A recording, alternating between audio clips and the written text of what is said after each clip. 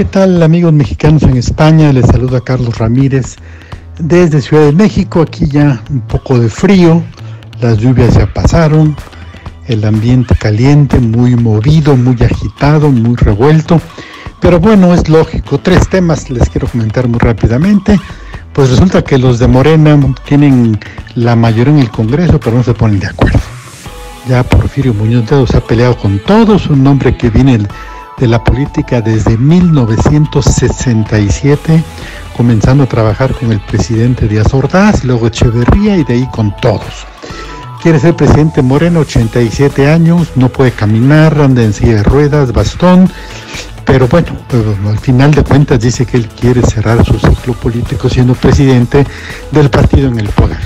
No hay proyecto, no hay idea, no hay una propuesta concreta, sino simplemente quiere llegar a donde quiere llegar para poder despedirse de la vida. Así es, así es él, pues eh, todo gira en torno a su, a su ego y a su eh, acomodamiento de todas las eh, corrientes políticas. El segundo punto que quiero comentarles es el tema de los fideicomisos. Se ha entendido un poco mal rápidamente, se los explico, son fondos especiales que se manejan de manera bancaria. En automático todo el presupuesto aparte el dinero y lo manda a los fideicomisos. Y entonces los beneficiarios de los fideicomisos, que desde luego hay, como en todos lados, cierto margen de corrupción, pero en lo general están controlados por bancos, eh, tienen capacidad de hacer programas plurianuales o multianuales.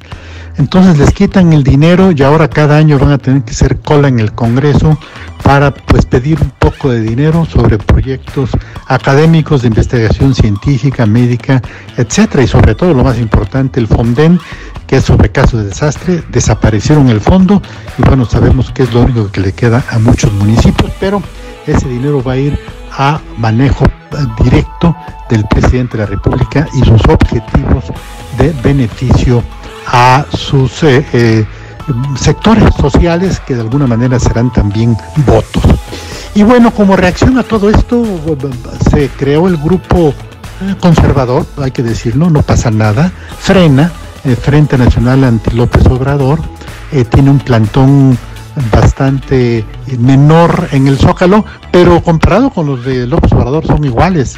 Cuando López Obrador tomó el paseo de la reforma en el 2006 estaban las eh, tiendas de campaña vacías, así que tampoco se pueden quejar ahora de que estén vacías. El asunto es que es un grupo conservador que pasa ya a la acción directa, esto es bien importante, porque no hay mecanismos de intermediación, no hay partidos de oposición y no hay juego político en el Congreso para eh, corrientes de esta ideología.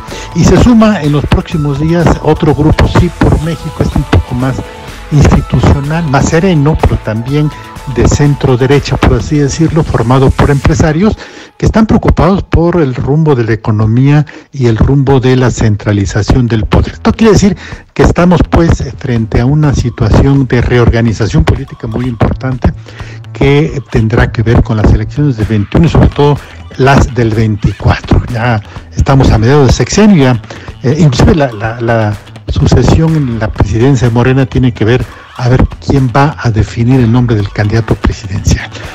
Así que son eh, días cierre de año muy complejo. El último dato, pésimo aviso, el, Banco Mundial dice que México va a crecer o ha de crecer entre menos 10 y menos 12% este año y el año que entra menos eh, subirá a más 3%, pero es más 3% sobre el menos 10, o sea, siguen estando menos 7 en, el, en los dos años, más o menos, son cálculos muy automáticos.